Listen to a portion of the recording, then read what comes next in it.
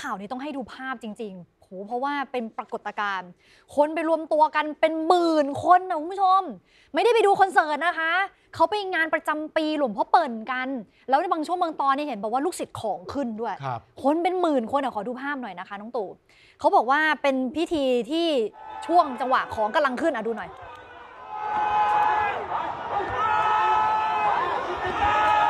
ส่วนแต่คนไหนพอ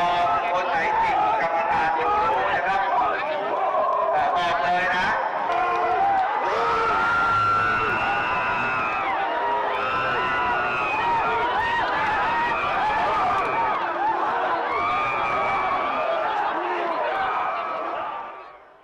โอ้โห เป็นไงล่ะพี่แป๊ะอืมคือที่เห็นวิ่งชนเข้าไปนั่นคือเขาบอกว่าเขาไม่เป็นตัวของตัวเองนะคะครับของขึ้นว่าแบบนี้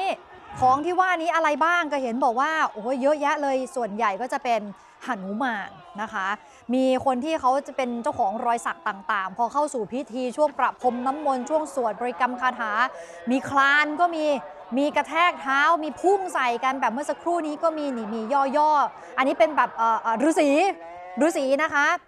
โอ้เยอะเลยหลายคนเลยนะคะคุณผู้ชม นี่ที่นครชัยศรีจังหวัดนครปฐมนะคะเขาบอกว่าเนี่ยเป็นงานพิธีไหว้ครูศักยันต์อันศักดิ์สิทธิ์ตามตำรับโบราณของหลวงพ่อเปิ่น ซึ่งเป็นอดีตเจ้าวาดวัดบางพระนะคะ ยอดเกจิอาจารย์แห่งลุ่มน้ำนครชัยศรีลูกศิษย์ลูกหามากที่สุดรูปหนึ่งของเมืองไทยตำนานรอยสักเสือเพ่นเจ้าของตำนานรอยสักเสือเพ่นยันหนุมานออกศึก ยันหนุมานอมเมือง ยันพ่อแก่ฤาษียันลิงลมยันเก้ายอดยันแปดทิศยันเกราะเพชร มีทั้งคนไทยคนต่างชาติเลยนะเมื่อสักครู่นี้เห็นมีฝรั่งมานั่งด้วยอืมทั้งผู้ชายทั้งผู้หญิงเลยค่ะ มานั่งอยู่ตรงลานจอดรถหน้าหลวงพ่อเปิ่นองค์ใหญ่นะคะ แล้วพอเจ้าหน้าที่ของวัดประกาศให้ลูกศิษย์ที่มากันเป็นเรือนหมื่นคนเนี่ยนะ นั่งรอลำลึกถึงคำสอนครูบาอาจารย์สวดภาวนาสินห้าประพรมน้ำมนต์จังหวะนั้นแหละค่ะ เริ่มเลยช่วงปราบพรมน้ำมนต์ ลูกศิษย์หลายคนก็มีอาการอย่างที่เห็นเมื่อสักครู่อะอย่าเรียกปราบพรมเลยจะฉีดน้ำมนต์นะคะอืมต่อสายแล้วก็ฉีดอัดแรงดันเข้าไปเพราะคนเยอะอะค่ะ ดับร้อนไปด้วยเลยนะคะเมื่อวานนี้อากาศก็ค่อนข้างร้อนอยู่พอสมควร แล้วอย่างที่คุณผู้ชมได้เห็นไปตอนแรก ใครถักสักเสือเพ่นก็อาการคลานเป็นเสือเลยนะคะ ใครสักหนุมานก็คือแบบกระทืบเท้ากระแทกเท้า ใครสักฤาษีนี่ก็ท่าทางเป็นแบบนี้เลยนะคะ ก็มีเจ้าหน้าที่วัดเขาคอยคุมเชิงอยู่ แล้วก็ไปช่วยให้สงบสติอารมณ์ลงมาด้วยนะคะ พิธีเนี่ยจัดทุกปีนะก็เว้นไปช่วงโควิดนะคะจัดทุกปีตั้งแต่หลวงพ่อเปิ่นยังมีชีวิตอยู่ ถึงแม้ว่าท่านจะละสังขารไปแล้ว แต่ก็ยังคงมีลูกศิษย์ลูกหาเป็นหมื่นเลยนะคะ ที่ยังคงมาร่วมงานกันเป็นประจำส่วนการสักยันเนี่ยบรรดาลูกศิษย์เขาก็